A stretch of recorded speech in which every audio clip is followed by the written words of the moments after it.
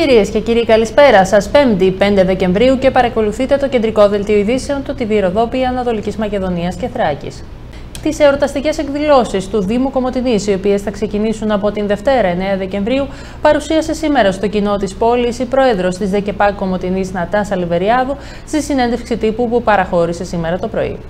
Από σήμερα διατίθεται το πρόγραμμα των Χριστουγεννιάτικων εκδηλώσεων, το οποίο φέτος είναι ιδιαίτερα πλούσιο, κυρίως για μικρούς αλλά και μεγάλους, όπως τόνισε η πρόεδρος της ΔΕΚΕΠΑΚ, Νατάσα Λιβεριάδου. Σήμερα το πρωί, κατά την παρουσίαση που έκανε στα τοπικά μέσα μαζικής ενημέρωσης. Νομίζω ότι είναι ένα πολύ όμορφο και πλούσιο πρόγραμμα, το οποίο ετοιμάστηκε και είναι στη διάθεση πλέον από σήμερα θα το διαθέσουμε σε όλους για να μπορούν να το έχουν και να ε, βλέπουν όλες τις δράσεις και τις δραστηριότητες που έχουν, που έχουν προγραμματιστεί. Ε, Σίγουρα, όπως το λέμε κάθε χρόνο και αυτό κάνουμε, οι, ε, οι περισσότερες εκδηλώσεις απευθύνονται στα παιδιά, έχουν να κάνουν ε, με την ευχαρίστηση των παιδιών και παράλληλα όμως υπάρχουν και αρκετές ε, δράσεις, συναυλίες, εκδηλώσεις, έθιμα που είναι και για τους μεγάλους. Ε, πάντα έχουν συμμετοχή σύλλογοι, πάντα έχει, έχουν συμμετοχή οδεία, η Ιεραμητρόπολης, ε, ε, ε, σύλλογοι.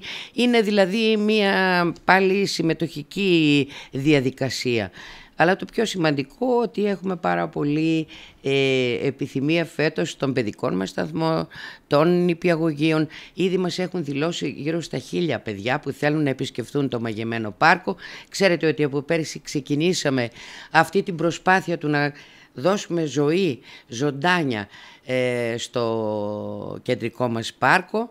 Νομίζω ότι θα καταφέρουμε, ε, όπως είδατε φέτος και στην πόλη κάναμε μια ε, ιδιαίτερη προσπάθεια να στολιστεί λίγο περισσότερο. Το ίδιο προσπαθούμε αυτή τη στιγμή και για το πάρκο το μαγεμένο όπως το έχουμε πει. Νομίζω ότι θα έχουμε καλύτερο αποτέλεσμα και τα παιδάκια θα περάσουν πάρα πολύ καλά. Έχουμε ετοιμάσει ένα πρόγραμμα ε, πολύ πλούσιο, θα το δείτε ε, στο έντυπο, ε, με πάρα πολλές δράσεις και εκδηλώσεις για τα παιδιά που είναι και εκτός του πάρκου, δηλαδή σε περίπτωση ε, κακής, ε, κακών καιρικών συνθήκων. Έχουμε το Ίδρυμα Παπα-Νικολάου όπου όπου είναι εκδηλώσεις ε, γιατί έχουμε ακροβάτες, έχουμε μαριονέτες, έχουμε ε, για τα παιδιά, έχουμε ε, ζογκλέρ, όπου δεν θα μπορέσουν να γίνουν στο πάρκο, θα γίνουν σε κλειστό χώρο. Αυτό το αναφέρουμε και στο πρόγραμμα, γιατί θα το ξέρει ο κόσμος, ώστε να έρχονται και να παρακολουθούν καμία από τις εκδηλώσεις των παιδιών ε, δεν θα πάει χαμένη. Από τις 9 Δεκεμβρίου έως τις 6 Ιανουαρίου θα διαρκέσουν οι χριστουγεννιάτικες εκδηλώσεις του Δήμου Κομωτινής, όπως τόνισε η κυρία Λιβεριάδου. Για να είμαι ειλικρινής, ξεκινάμε στις 9 του μήνα ε, μέχρι τις 5. Ε, δεν, δεν τις έχουμε μετρήσει, αλλά είναι αρκετές. Είναι αρκετές ε, γιατί ε, μπορεί να έχουμε προγραμματίσει από τις 9 του μήνα ε, μέχρι τις 20 περίπου που κλείνουν τα σχολεία να επισκεφτούν τα παιδάκια την, ε, το πάρκο, όμως το πάρκο θα είναι ανοιχτό όλο το μήνα, δηλαδή μέχρι τις 6 των φώτων, πρωί-απόγευμα, που μπορεί ο οποιοδήποτε και καθημερινά με, το, με τα παιδιά και με μεγαλύτερα παιδιά. Αυτό δεν σημαίνει ότι είναι μόνο για τα μωρά, για, για τις μικρές ηλικίες ε, να το επισκεφτεί. Θα είναι ανοιχτό το πάρκο πρωί-απόγευμα. Βρίσκεται ο Ιβασίλης στο σπίτι του, στο θρόνο του ε, και θα μοιράζει τα, τα καθιερωμένα όπως έχουμε ετοιμάσει, τα πουγκάκια με τα δώρα για τα παιδιά. Αλλά έχουν, έχουν, έχουν ετοιμάσει η ομάδα η, με επικεφαλή στην Άννη Μαχαιροπούλου, τα παιδιά μας, πάρα πολύ ωραία πράγματα, τα οποία θα τα δείτε επιτόπου για να περνάνε όμορφα το κάθε γκρουπ ε, στη διαδρομή την οποία θα κάνει. Ερωτηθείς για τον φωτισμό στο μαγεμένο πάρκο, η κυρία Λιβεριάδου τόνισε ότι θα έχει περισσότερο χρώμα και στολίδια, ενώ παράλληλα αναφέρθηκε και σε ορισμένες εκδηλώσεις. Ε, κοιτάξτε κάτι, κάτι το οποίο έλειπε, ε, επειδή ήταν πολύ αδύνατος ο περσινός όπως διαπιστώσαμε, ε, φωτισμός ε, θα κάνουμε ναι, ε, αποφασίσαμε να δώσουμε λίγο μεγαλύτερη ένταση και και χρώμα στα δέντρα και εκεί θα, θα τοποθετήσουμε ε, μικρούς προβολείς οι οποίοι θα δώσουν ένα χρώμα ε, το πειραματικά το κάναμε και στην πλατεία, ίσως είναι λίγο πιο ε, μικρότερη η προβολή, αλλά θα έχει περισσότερο χρώμα. Βάζουμε περισσότερα στολίδια στη διαδρομή, γιατί αν προσέξατε έχουμε εκμεταλλευτεί τα παλιά μας ε, στολίδια, τα οποία τα φτιάξαμε, γι' αυτό και είχαμε και πάρα πολλά και βάλαμε περισσότερα και στην πόλη και θα βάλουμε περισσότερα και στο πάρκο. Ε, δεν αγοράσαμε για το πάρκο κάτι επιπλέον πριν από τους προβολείς αυτούς που σας είπα που είναι γύρω στο, στους 150 όπως τον, ε, το, έχουμε τον αριθμό. Από εκεί και μετά θεωρώ ότι ε, θα περάσουν καλά όλοι όσοι ε, έχουμε μια τη μεγάλη μας συναυλία με το Σύλλογο Φίλων Μουσικής Τράκης που θα γίνει στο Μέγαρο στις 20 του μήνα αυτό θυμόσαστε τα προηγούμενα χρόνια το, το κάναμε στο, ε, στο αμφιθέατρο της Πανεπιστημιούπολης αλλά φέτος εφόσον υπάρχει το Μέγαρο θα είμαστε εκεί. Ε, στις 20 του μήνα, στις 18 έχουμε τη συναυλία ε, το, της ορχήστρας μας Jazz στην ε, πολιτιστική κίνηση. Έχουμε οδεία το οδείο το Θράκης στο οποίο θα κάνει την ε, καθιερωμένη χριστουγεννιάτικη εκδήλωση. Ε, επίσης ε, αναφέρουμε, αυτό το έχουμε πει στην προηγούμενη συνέντευξη, το λέω και τώρα, ότι το η, ιδιαίτερα πια ξεκινάμε με πολύ χαρά ε, τα τελευταία χρόνια τις χριστουγεννιάτικες γιορτές με το μεγάλο μας δρομικό, το Σανταράν, την πρόταση των νέων παιδιών που πριν χρόνια ε, την έθεσαν εδώ και όλοι μαζί ε, αποφασίσαμε να, να γίνεται αυτή η δράση. Ε, συμμετέχει και, και η ΔΕΚΕΠΑΚ φυσικά στην, ε, στο, στο Σανταράν. Από εκεί και μετά έχουμε τη συναυλία που η ΔΕΚΕΠΑΚ φέρνει τον Χατζηγιάννη όπως ξέρετε στην ε, έναρξη και το άναμα του δέντρου στην κεντρική πλατεία που θα γίνει από το δήμαρχό μας το Γιάννη τον Καράνη. Η Περιφέρεια Ανατολικής Μακεδονίας και Θράκης, η οποία συμμετέχει ως εταίρος σε έργο του Ευρωπαϊκού Προγράμματος Διασυνοριακής Συνεργασίας Interreg Cooperation Program Greece Bulgaria 2014-2020, πραγματοποίησε ενημερωτική εκδήλωση με θέμα Ευκαιρίες Κοινωνικής Επιχειρηματικότητας σήμερα το πρωί στην αίθουσα εκδηλώσεων του Τεχνικού Επιμελητηρίου Θράκης.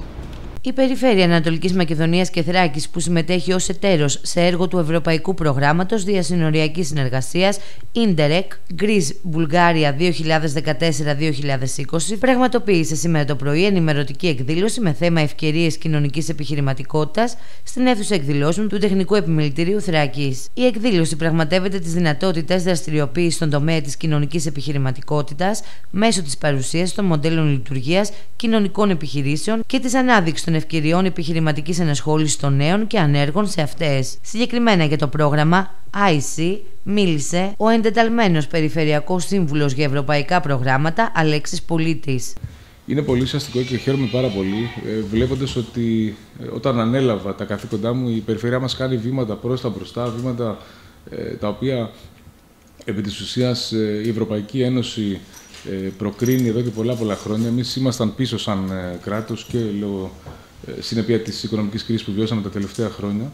Ε, βλέπουμε καινούργιες έννοιες, καινούργιες έννοιες οι οποίες θα απασχολήσουν ε, σημαντικά ε, ολόκληρη την, την παγκόσμια οικονομική και όχι μόνο κοινότητα, όπως αυτή της κοινωνικής επιχειρηματικότητας. Είδαμε πρόσφατα ένα αντίστοιχο συνέδριο ε, για το οποίο, στο οποίο μάλλον μιλήσαμε για την κυκλική οικονομία, ε, κοινωνική οικονομία, κυκλική οικονομία. Μιλάμε για όρους ε, οι οποίοι σίγουρα δεν είναι συνηθισμένοι, σίγουρα έχουν κάπως περίεργα στα αυτιά των περισσότερων, ωστόσο θα με θυμηθείτε σε αυτό που σας λέω σε λίγα χρόνια, σε πολύ λίγα χρόνια και στην Ελλάδα τα μοντέλα, ε, τα οικονομικά μοντέλα θα, ε, και τα πλαίσια θα δημορφώνονται πάντα ε, με όρους ε, κοινωνικής οικονομίας ή, και κυκλικής οικονομίας, μέσα και ήταν πρόσφατο το συγκεκριμένο ε, συνέδριο.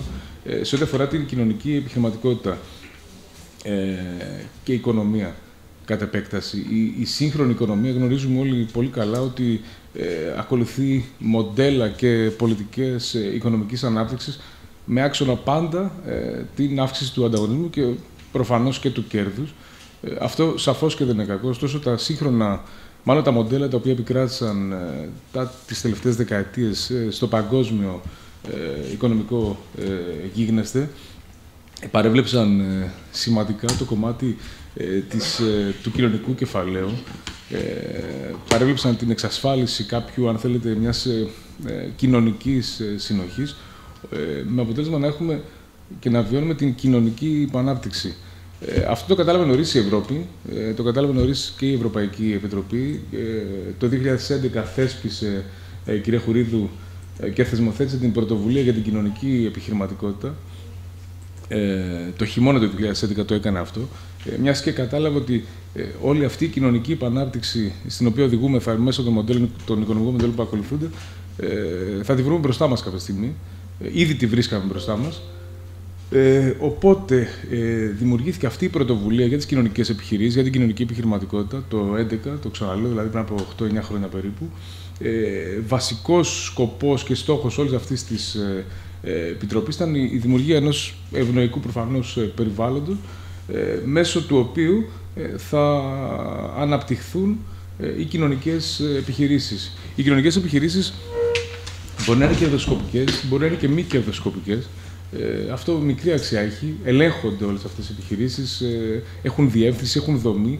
Ε, η διαφορά τους έναντι όλων των άλλων επιχειρήσεων ε, έχει να κάνει με τον κοινωνικό σκοπό. Δηλαδή, στο κέντρο της αποστολής μιας τέτοιας ε, ε, επιχείρησης είναι πάντα ο κοινωνικός σκοπός. Ακόμα και το κέρδος το οποίο θα αποφέρει ενδεχομένως μια τέτοια δράση, μια τέτοια επιχειρηματική κίνηση, το κέρδος αυτό χρησιμοποιείται, επαναχρησιμοποιείται ε, στα πλαίσια της ενίσχυσης αυτού του κοινωνικού ε, σκοπού.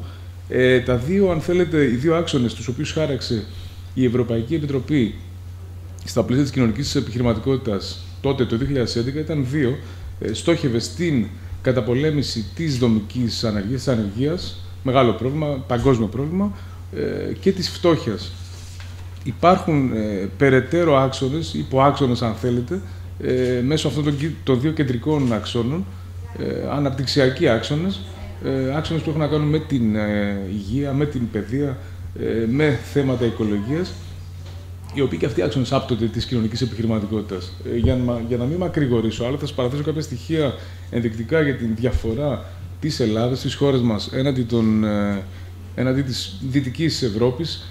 θα παραθέσω κάποιου, κάποιους αριθμούς επί της ουσίας.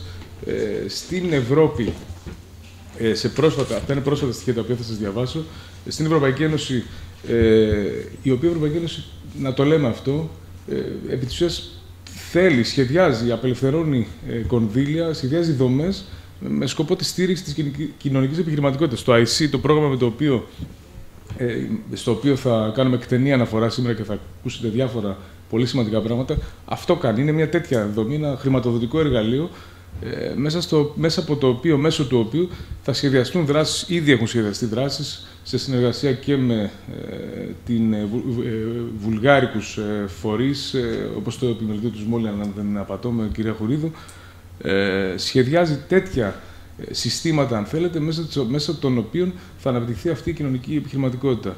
Στην Ευρώπη ε, οι κοινωνικές εταιρείες, οι κοινωνικές επιχειρήσεις αντιπροσωπεύουν το 10% του συνόλου των επιχειρήσεων, ε, του συνόλου των εταιριών. Ε, απασχολούνται περίπου 11 εκατομμύρια εργαζόμενοι, ε, ενώ στην Ελλάδα οι κοινωνικές επιχειρήσεις αποτελούν μόλις το 1,8% της απασχόλησης και μόλις το 2,9% της μισθωτής εργασίας. Για τους όρους και τα όσα πραγματεύεται το πρόγραμμα καθώς και τους εταίρους μίλησε η δεύτερη ομιλήτρια. Social Enterprise Empowerment ενδυνάμωσε των διαπεριφερειακών κοινωνικών επιχειρήσεων με το ακρονίμιο IC. Είναι στα πλαίσια της πρωτοβουλίας Ίντερεκ Ελλάδα-Βουλγαρία 2014-2020 ε, στον άξονα προτεραιότητας 4, μια διασυνοριακή περιοχή χωρίς αποκλεισμούς, η προτεραιότητα των επενδύσεων είναι στην 9ΣΕ που αφορά την παροχή, υποστήριξη και κοινωνικές επιχειρήσεις και ο ειδικός στόχος στη συγκεκριμένη κατηγορία είναι η ανάπτυξη της κοινωνικής επιχειρηματικότητας στη διασυνοριακή περιοχή. Το έργο πραγματεύεται την προώθηση της κοινωνικής επιχειρηματικότητας στις δύο περιοχές της ε, Βουλγαρίας και της περιφέρειάς μας. Οι, ε, οι εταίροι συνολικά είναι τρεις από την Ελλάδα και δύο από την ε, Βουλγαρία. Ε, στην, ε, η εταίρεια από την χώρα μας είναι ως επικεφαλής εταίρος η Περιφέρεια Ανατολικής Μακεδονίας ε, και Θράκης. είναι το δίκτυο «Η Συνεργασία Ενεργών Πολιτών», που είναι μία μη κερδοσκοπική οργάνωση, και ο τρίτος εταίρος είναι το Δίκτυο Κοινωνικής Αλληλεγγύης της Περιφέρειας Ανατολικής Μακεδονίας και Θράκης, η Στήριξη, η οποία είναι μια εταιρεία και που μέτοχος είναι πάλι και η Περιφέρεια. Από την πλευρά της Βουλγαρίας είναι η περιφέρεια του Σμόλιαν και το εμπορικό και βιομηχανικό επιμελητήριο του Σμόλιαν. Η δεύτερη συνάντηση για την ενημέρωση των εμπλεκομένων της τοπικής αυτοδιοίκησης και των πολιτών για την εξέλιξη του έργου του νέου νοσοκομείου Κομωτινής πραγματοποιήθηκε χθες, Τετάρτη 4 Δεκεμβρίου, στο Πολυλειτουργικό Κέντρο του Δήμου μας. Με τη συμμετοχή των μελών της ομάδας σχεδιασμού της διαχείρισης του έργου, καθώς και των εκπροσώπων του Ιδρύματος Σταύρος Νιάρχος αλλά και του Ελληνικού Δημοσίου. Από την πλευρά του, θα ήθελα εν συντομία να αναφερθώ κυρίως για όσους δεν είχαν παρακολουθήσει στην προηγούμενη παρουσίαση, ε, το πλαίσιο μέσα στο οποίο εξελίσσεται ο σχεδιασμός και στις βασικές παραμέτρους που το προσδιορίζουν.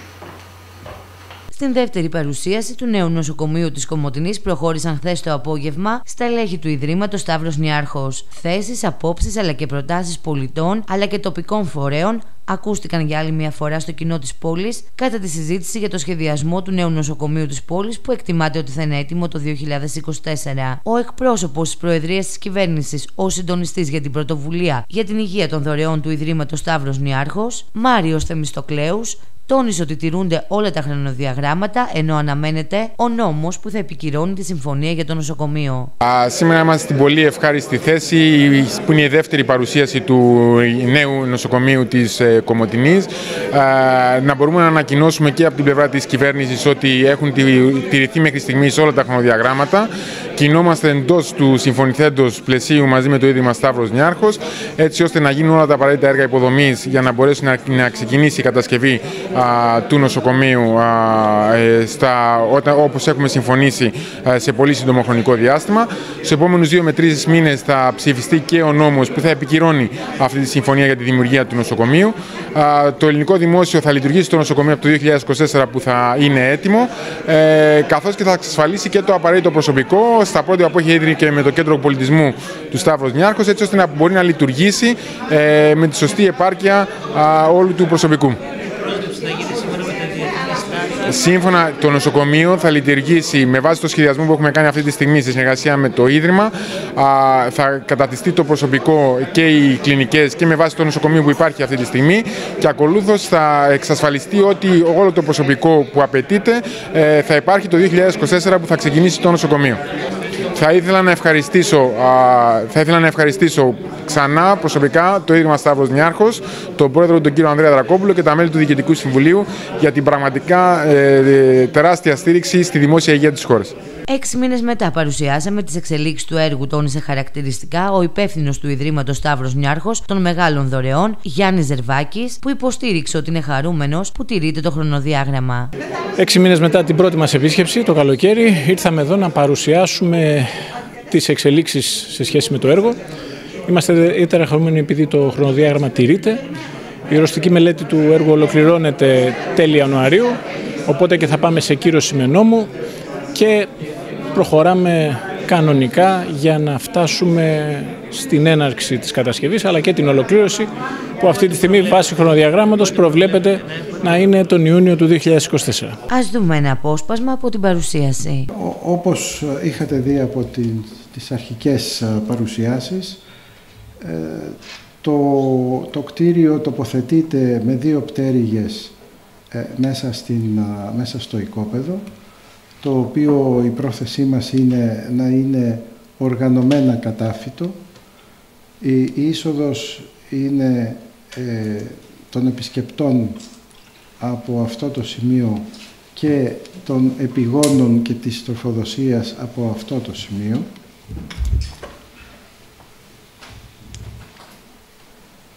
Ε, στη στάθμη εισόδου υπάρχει ένα κεντρικό φουαγέ εισόδου και το οποίο τροφοδοτεί δεξιά και αριστερά τις πτέρυγες στο ισόγειο και από τις οποίες μπορούμε να ανεβούμε και ε, στο επάνω, στην επάνω στάθμη ε, που είναι οι κλίνες.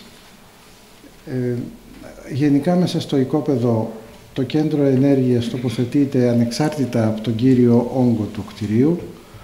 Ε, στο πίσω κομμάτι υπάρχει ο χώρος στάθμευσης του προσωπικού και ε, στο, στο μπροστά κομμάτι είναι το, η στάθμευση, ο χώρος στάθμευσης του κοινού, όπου εδώ θα υπάρχει και η στάση του λεωφορείου που από τις ε, κουβέντες που είχαμε με το κτέλ προτίθεται να έχουμε και εξειδικευμένη γραμμή για το νοσοκομείο μόνο. Το σπιτάκι του Άι Βασίλη, το οποίο βρίσκεται στην κεντρική πλατεία της πόλης, λειτουργεί καθημερινά για το κοινό, ώστε να προμηθεύει τις στολές για τον εορταστικό μαραθώνιο του Σανταράν, ο οποίος θα διεξαχθεί στην πόλη μας την Δευτέρα 9 Δεκεμβρίου. Το σπιτάκι του Άι Βασίλη βρίσκεται πλέον στην πλατεία Ειρήνης στην Κομωτινή. Εκεί μπορείτε να σπεύσετε προκειμένου να κάνετε, αν δεν το έχετε πράξει ήδη μέχρι τώρα, την εγγραφή σας για το τέταρτο κατά σειρά Σανταράν Κομωτινής. Στο σπιτάκι του Σανταράν έχετε την ευκαιρία να προμηθευτείτε την Αγιοβασιλιάτικη σας στολή, να παραδώσετε το ελαιόλαδό σας και να παραλάβετε το σκουφάκι σας και να δηλώσετε συμμετοχή στην πορεία περιπάτου. Το φετινό φιλανθρωπικό Χριστουγεννιάτικο δρομικό που πραγματοποιείται την Δευτέρα 9 Δεκεμβρίου και ώρα 5.30 και έχει αφετηρία του το πάρκο της Αγίας Παρασκευής. Τις ώρες που λειτουργεί το σπιτάκι του Άι Βασίλη επί της πλατείας Ειρήνης, ανέφερε ο φοιτητής του ΤΕΦΑ Αλέξανδρος Σταυρόπουλος. Είμαι φοιτητής 4ου έτους του, ε, του ΤΕΦΑ Κομωτινής και στηρίζουμε φέτος την προσπάθεια αυτή τη μεγάλη που γίνεται εδώ με το Σανταράν. Ε, εδώ μπορεί να προμηθευτεί κάποιος στολή από ποια μέρα και ποιες ώρες είστε εδώ; Ε, είμαστε εδώ κάθε πρωί 11 με 2 και το απόγευμα 6 με 8. Μπορείτε να πάρετε τις στολές από εδώ από τον πάγκο ακριβώς που βλέπετε.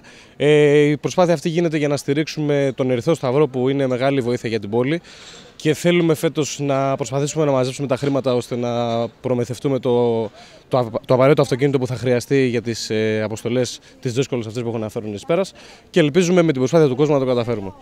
Μέχρι στιγμής πώς βλέπετε την ανταπόκριση του κόσμου, έρχονται να αγοράσουν στολέ. Ναι, δεν, ε, δεν είχε καθόλου. Ε, ο κόσμος ε, ήταν κοντά μας, έρχονται, δείχνουν ενδιαφέρον και αυτό νομίζω είναι κάτι πολύ σημαντικό. Ε, ναι, με το σκουφάκι, ε, για να, για να το σκουφάκι θα, χρειαστεί να, θα μπορέσουν να δώσουν λίγο λάδι ας πούμε, που θα χρειαστεί και για τις ε, διάφορες ευπαθείς ομάδες και θα βοηθήσει και αυτός πολύ στην προσπάθεια. Αύριο, Παρασκευή 6 Δεκεμβρίου, θα πραγματοποιηθεί η παρουσίαση του νέου βιβλίου του Ισίδωρου Ζουργού «Οι Ρετσίνες του Βασιλιά», μία εκδήλωση την οποία θα παρουσιάσουν οι συγγραφείς Σπύρος Κιωσές και η φιλόλογος κυρία Ρένα Σαμαρά Μάινα και θα πραγματοποιηθεί στην Λέσχη Κομωτινέων στις 7.30 το απόγευμα. Ο Ισίδωρος Ζουργός ε, ε, εδώ και αρκετά χρόνια ξεχωρίζει με την πένα του ως ένας από τους ε, πιο πετυχημένους συγγραφείς με έντονη παρουσία στο χώρο του βιβλίου και με πολύ σημαντικό εκδοτικό έργο. Εμείς λοιπόν φιλοξενούμε τον συγγραφέα κύριο Ισίδωρο Ζουργό να μας μιλήσει για το νέο του αυτό βιβλίο καθώς και για την παρουσίαση η οποία θα πραγματοποιηθεί αύριο εδώ στην πόλη μας. Κύριε Ζουριά, σας καλησπερίσουμε. Καλησπέρα και από μένα σε εσάς και στους τηλεθεατές. Το νέο σας βιβλίο, λοιπόν, «Οι Ρετσίνες του Βασιλιά», έχουν, έχει ένα ιδιαίτερα ενηγματικό τίτλο. Πώς καταλήξατε στην επιλογή του και ποιο είναι το κύριο θέμα του νέου σας αυτού του βιβλίου; Η αλήθεια, η αλήθεια είναι ότι ο τίτλος του είναι ενηγματικός. Κατέληξα εκεί γιατί δουλεύει μέσα από δύο βασικά σύμβολα. Το ένα είναι ο βασιλιάς και το δεύτερο είναι η ρετσίνα, το γνωστό λαϊκό ποτό. Μέσα με πολύ λίγα λόγια θα μπορέσω να σας πω ότι είναι μια ιστορία που διαγραμματίζεται την σημερινή εποχή όταν ένας ηλικιωμένος άντρας φτάνει σε ένα ημιορεινό χωριό αποφασισμένος να περάσει εκεί το χειμώνα. Μέσα από τη σχέση αυτού του ανθρώπου με τους λίγους κατοίκους του χωριού στο χειμώνα όπως επίσης και οι αναφορές στην οικογενειακή και συλλογική μνήμη φτιάχνουν ουσιαστικά ένα μυθιστόρημα το οποίο κινείται από τη μία στο σήμερα ταυτόχρονα κοιτάζει στο πρόσφατο παρελθόν της χώρας και ταυτόχρονα συνομιλεί με τον κόσμο του βασιλιά Λύρ του Σέξπιρ. Αυτός ο βασιλιάς θα πρέπει να μπει σε εισαγωγικά, δεν είναι κυριολεκτικά ένας βασιλιάς, είναι απλά ένας άρχοντας, ένας άνθρωπος με ευμάρεια και πλούτο, ο οποίος όμως νιώθει πως σιγά σιγά αποδομείται από τον χρόνο και από τις αντίξωες συνθήκες της ζωής. Μάλιστα. Ποια είναι η συμβολή της ρετσίνας στο βιβλίο σας; Η ρετσίνα είναι το γνωστό λαϊκό ποτό με το οποίο μεγάλωσαν γενιές ολόκληρες Ελλήνων. Είναι το ποτό της παλιάς παραδοσιακής ταβέρνας, το ποτό του παλιού ελληνικού κινηματογράφου αν θυμάστε, είναι το ποτό της οικογενειακής βεγγέρας, το λιτό ποτό των πατεράδων και των παππούδων μας. Οι τελευταίες δεκαετίες της Ελλάδας μέσα από διάφορα πρότυπα νεοπλουτισμού έσπρωξαν τη Ρετσίνα στο περιθώριο. Στο βιβλίο η Ρετσίνα ουσιαστικά πρόκειται για έναν κρίκο που θα επανασυνδέσει τον βασιλιά, παύλα πρωταγωνιστή, με τις λαϊκές του ρίζες, αλλά και με τον απλό καθημερινό άνθρωπο του χωριού, τον οποίον εξαιτίας της προηγούμενης ζωής του τον είχε ολότελα ξεχάσει. Μάλιστα. Να μείνουμε λίγο στο κεντρικό πρόσωπο του μυθιστορήματος και αν θέλετε κι εσείς να μας αναλύσετε λίγο περαιτέρω τον ήρωα του βιβλίου σας. Θα μπορέσω να μιλήσω πολύ λίγο νομίζω γιατί από εκεί και πέρα θα ήταν καλύτερο οι αναγνώστες να ξεκινήσουν τη διαδρομή τους σε σχέση με το κείμενο. Έχω να σας πω μόνο πως στο πρόσωπό του ε, και όπως και στις τρεις κόρες του και στην οικογενειακή του ιστορία έχουμε ένα σύμβολο του ανθρώπου της εξουσίας, της κάθε εξουσίας, της πολιτικής, της οικονομικής, της οικογενειακής, της γωνιακής, ο οποίος κάποια στιγμή συνειδητοποιεί το αντίστροφο της πορείας του. Μέσα από τον ίδιο τον ήρωα κάνουμε ένα κοίταγμα και στον κόσμο του Σέξπιρ, ο οποίος είναι γεμάτος από ηγεμόνες οι οποίοι από την κορυφή αρχίζουν και εκπίπτουν, αλλά ταυτόχρονα υπάρχει και ένα άλλο κοίταγμα το οποίο έχει να κάνει με τον κόσμο του Ραμπελέ και του Γαργαντούα. Θυμίζω πολύ γρήγορα ότι ο κόσμος του Ραμπελέ είναι αυτός ο ξέγνοιαστος κόσμος της αναγέννησης, ο γεμάτος από απολαύσεις απλές καθημερινές της ζωής. Ο ήρωάς μας προσπαθεί, ξεχνώντας τη μοναξιά του, να επανασυνδεθεί με αυτόν τον κόσμο του ποτού, που στη συγκεκριμένη περίπτωση είναι η Ρετσίνα, αλλά και ταυτόχρονα της ξενιασιάς μέσα σε μία απλή παρέα καφενείου. Τα πράγματα όμως δεν είναι πάντα αυτό που φαίνονται και αυτό όμως θα το αφήσουμε στη συνέχεια του βιβλίου. Μάλιστα. Στο βιβλίο σας θίγεται μεταξύ των άλλων και ζητήματα της ε, ελληνικής κοινωνίας, αποδεικνύοντας ότι ζούμε σε μια χώρα γεμάτη αντιφάσεις. Θα ήθελα να μείνουμε λίγο σε αυτό και να μας το σχολιάσετε. Εκείνο που θα ήθελα να πω σε σχέση με την πραγματικότητα με την οποία διασταυρώνεται το μυθιστόρημα είναι ότι ένα μεγάλο μέρος της επισκόπησης της σημερινής πραγματικότητας ασχολείται με αυτό το φαινόμενο της νέας μετανάστευσης. Αυτό το οποίο ζει η Ελλάδα τα τελευταία κυρίως 10 χρόνια, που εξαιτίας της κρίσης και πολλών άλλων παραγόντων, ε, χιλιάδες νέα παιδιά, ε, τα παιδιά μας, έχουν φύγει σε αναπτυγμένες χώρες της Ευρώπης ή και στην ίδια την Αμερική ή και σε πολλές γωνιές του κόσμου, χώρες με εύρωστη οικονομία, οι οποίες χώρες μπορούν να εκμεταλλευτούν τα επιστημονικά και άλλα προσόντα τα οποία τους τα δώσαμε εμείς. Μόνο που όταν ε, ήρθε η ώρα για να προσφέρουν αυτά τα παιδιά στον τόπο τους, οι συνθήκες είναι τόσο αντίξωες σε αυτή τη χώρα τα τελευταία 10 χρόνια, ώστε αυτά τα παιδιά φτιάχνουν καριέρα και ζωή κάπου μακριά. Ζούμε μια ιστορική περίοδο υπό αυτή την έννοια, διότι ο ελληνισμός για άλλη μια φορά φεύγει έξω από τα παραδοσιακά του σύνορα και φτιάχνει κοινότητες αποτελούμενες από μια ποιότητα ανθρώπων εξαιρετικά αξιόλογη όπως είναι αυτή η γενιά η οποία έχει φύγει στο εξωτερικό. Το βιβλίο συγκινείται ιδιαίτερα με αυτό και ασχολείται αρκετά. Από εκεί και πέρα υπάρχουν οι αντιφάσεις της Ελλάδας καθώς προσπαθεί από τη μία να πιάσει έναν καινούριο τρόπο ζωής, να ψάχνει να, να ακουμπήσει μια παγκοσμιοποίηση που τρέχει με πολύ μεγάλες ταχύτητες, ενώ ταυτόχρονα δεν μπορεί να ξεχάσει τις ρίζες της, αλλά και ταυτόχρονα καλές ή και κακές έξεις που σχετίζονται με το παρελθόν της. Μάλιστα. Τι είναι αυτό που μένει στο τέλος στον αναγνώστη με την ολοκλήρωση του βιβλίου σας; Αυτό δεν θα μπορούσα να το προεξοφλήσω, δεν ξέρω. Νομίζω ότι ο κάθε αναγνώστης νοηματοδοτεί το κείμενο και σε ένα επίπεδο εξαγωγής υπερασμάτων, αλλά και το συνέστημα το οποίο θα μείνει στον κάθε έναν από τους αναγνώστες και τις αναγνώστες, νομίζω ότι είναι μοναδικό. Οπότε δεν έχω να πω ή να προσθέσω κάτι. Ο κάθε αναγνώστης που θα μου κάνει τη τιμή να αφιερώσει χρόνο για να περπατήσει πάνω στο βιβλίο μου, θα έχει στο τέλος κάτι που ίσως να είναι και αποκλειστικά δικό μου. Μάλιστα. Πριν σας αποχαιρετήσουμε, να αναφερθούμε για ακόμη μια φορά στην παρουσίαση του βιβλίου σας που θα πραγματοποιηθεί αύριο στην πόλη μας, στην Κομωτινή. Ναι, θέλετε να συνεισφέρω ναι, ναι, ναι, παρακαλώ, ναι. Ναι, είμαστε αύριο λοιπόν, ε, ημέρα Παρασκευή, στις 7.30 ε, ώρα το απόγευμα, στη Λέσχη Κομωτινέων, όπου θα βρίσκομαι εγώ για να συζητήσω με τους αναγνώστες για το βιβλίο, να κάνω την αρχική σύσταση και μαζί μου θα βρίσκονται για τις φιλολογικές τομές η κυρία Ρένα Σαμαρά Μάινα και ο Σπύρος Κιωσές και οι δυο τους εξαιρετικοί φιλόλογοι για να φωτίσουμε όσο μπορούμε το καινούριο μου βιβλίο και από την άλλη όμως να συζητήσουμε και με τους αναγνώστες και τις αναγνώστες με τους παρισταμένους εκεί διότι όπως και να το κάνουμε η σχέση, η μία εκδήλωση βιβλίου θεωρώ ότι είναι απαραίτητο να έχει και το στοιχείο της επικοινωνίας μιας και η ανάγνωση δεν είναι μόνο μοναξιά αλλά κοινοποίηση βιωμάτων επίσης. Μάλιστα. Να σας ευχαριστήσουμε θερμά για το χρόνο τον οποίο μας αφιερώσατε. Και... Εγώ να σας ευχαριστήσω για τη φιλοξενία. Να είστε, να είστε καλά. Καλό σας βράδυ.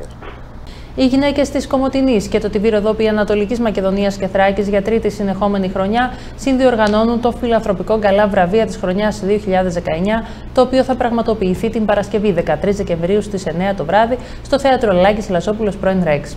Ψηφίστε στην ηλεκτρονική πλατφόρμα τους υποψηφίους με σκοπό την ανάδειξη των ανθρώπων μεμονωμένων ή συλλογικά που ξεχώρισαν στον τομέα τους. Σκοπός της βραδιάς είναι η ενίσχυση του συλλόγου στήριξης και αποκατάστασης καρδιοπαθών και πρόληψης καρδιοπαθειών νομουροδόπη. Γεια σας, είμαι ο Χαράλαμπο Αυτοφορίδης και για άλλη μια χρονιά μαζί με όλη την πόλη σας καλούμε να στηρίξετε το φιλανθρωπικό γκάλα βραβεία της χρονιάς 2019. Ψηφίστε την ηλεκτρονική πλατφόρμα τους υποψηφίους και ελάτε να δηλώσουμε όλοι μαζί και φέτος με όλη μας την καρδιά τη δύναμη αυτής της πόλης. Γεια σας, είμαι η Ναούμ Φωτεινή και σας καλούμε στα βραβεία της χρονιάς 2019 που θα πραγματοποιηθούν στο θέατρο Λάκης Λαζόπουλος πρώην Ρεξ την Παρασκευή 13 Δεκεμβρίου στις 9 το βράδυ.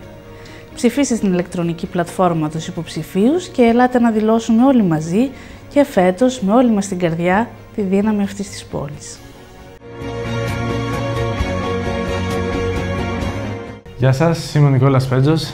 Είμαι ο Γιώργος Παλάσκας. Είμαστε από το Γάσκο Μοτινή και σας καλούμε στα βραβεία της χρονιάς 2019 που θα πραγματοποιηθούν στο θέατρο Λάκης Λαζόπουλος, πρώην Ρεξ, την Παρασκευή 13 Δεκεμβρίου στις 9 το βράδυ.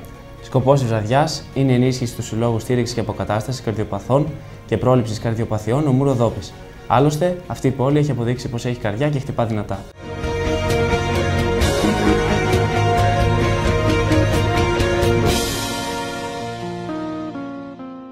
Πάμε να δούμε πώς νίκησε ο Παθρακικός στην αναγέννηση Παγουρίων με 6-0 στο πρωτάθλημα της ΑΕΠ Στράκης.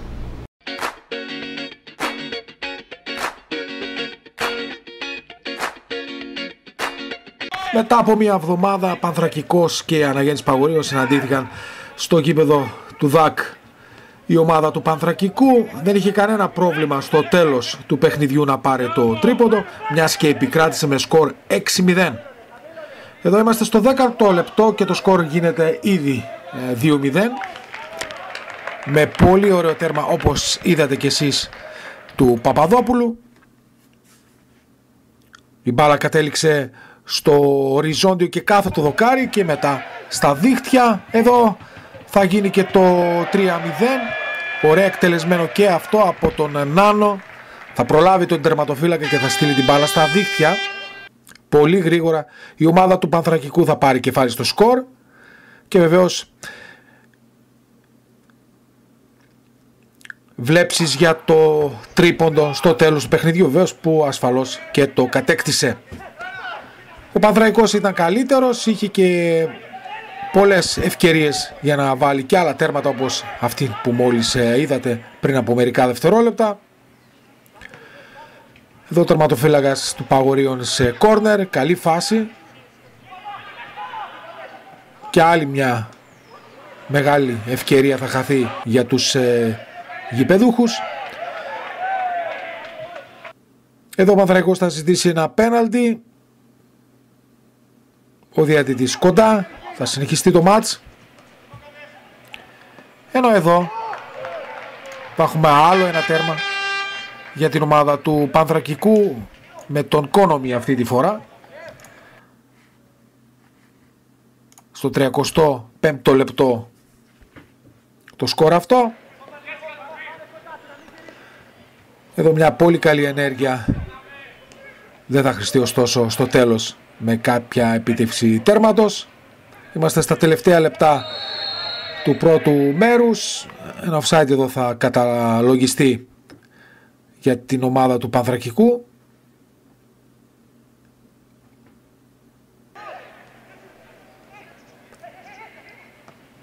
Άλλη μια καλή στιγμή εδώ για την ομάδα του Μπαχαρίδη. Θα χαθεί. Έχουμε περάσει ήδη στις φάσεις του δευτέρου 45 λεπτού.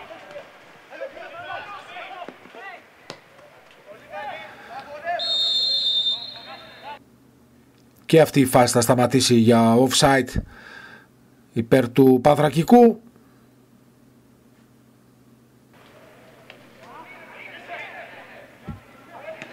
Ενώ από εδώ ο Κυριαλάνης θα βάλει και αυτός στο γκολ στο 50 λεπτό θα κάνει το 5-0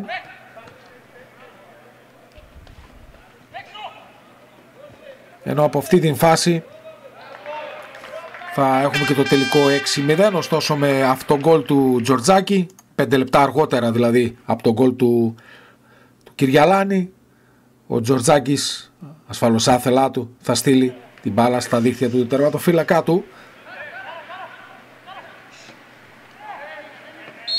Άλλη μια φάση εδώ θα κοπεί. Ένα γκολ που πέτυχε ο Παθραϊκός θα κυρωθεί για offside.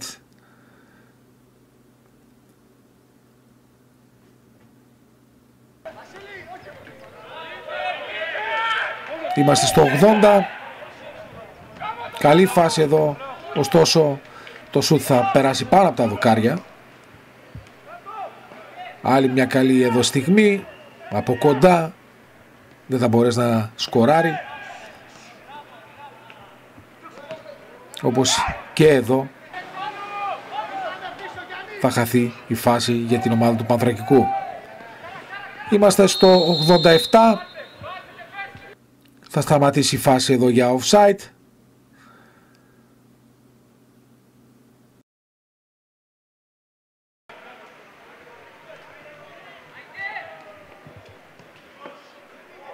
Άλλη μια καλή ευκαιρία εδώ για την ομάδα του Πανθρακικού. Τελικό σκορ στο ΔΑΚ Πανθρακικός Αναγέννης Παγόριων 6-0. Παρακολουθήστε ποια φαρμακεία διανυκτερεύουν για σήμερα 5η 5 Δεκεμβρίου αλλά και αύριο Παρασκευή 6 του μηνός.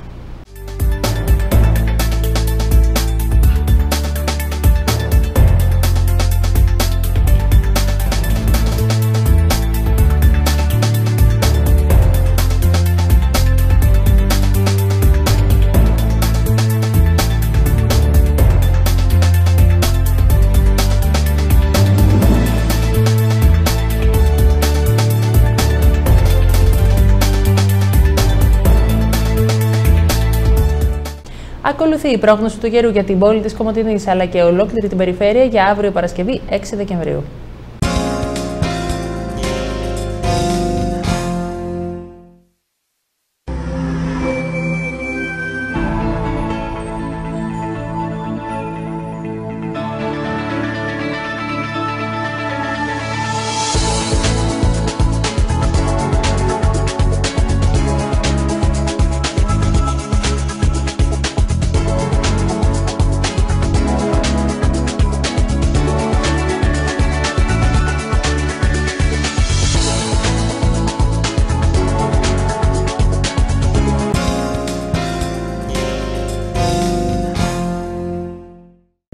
Παρακολουθήσατε το κεντρικό δελτίο ειδήσεων του TV Ροδόπη Ανατολικής Μακεδονίας και Θράκης. Εσείς μπορείτε να παρακολουθείτε όλα τα δελτία ειδήσεων και όλες τις εκπομπές μας μέσα από την ηλεκτρονική μας ιστοσελίδα www.rodopinet.gr καθώς και από το Facebook TV Ροδόπη Ανατολικής Μακεδονίας και Θράκης. Να έχετε ένα καλό βράδυ.